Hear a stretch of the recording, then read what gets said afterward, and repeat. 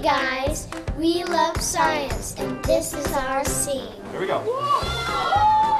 My name is Mark Straub and I'm the Executive Director of Cool Science. And Cool Science is all about making science fun for kids. We try to do things that make kids think of science as something they want to do more of.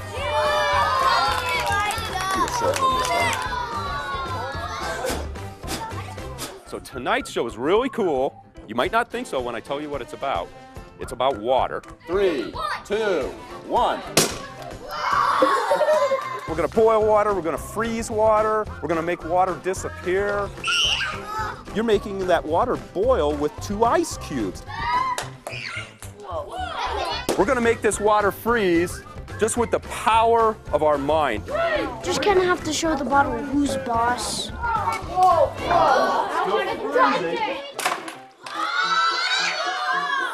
It's not me, it's the water. The mass of that water hit the bottle so hard that it broke it. I volunteered for the one where there was water and I put water in and then I put food coloring in and then something happened. He shook it up and then it started like going out and it exploded everywhere. Oh, good. It was a surprise to me. This time we're going to make it more dangerous. This is a water balloon, and it's not going to pop. The water stopped the balloon from burning from the candle. Our last volunteer was a girl. Let's get a boy and just upside down plunge it right in there. We did, I think we did a number on that can.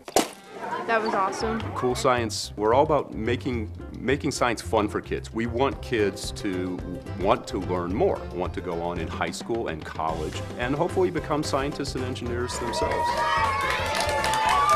I kind of want to be a scientist just like him someday. So if they go to our website, which is coolscience.org, we also have lots of experiments that kids can do at home. I've never seen something that cool ever. I think that is so cool. You're watching Kids Scene.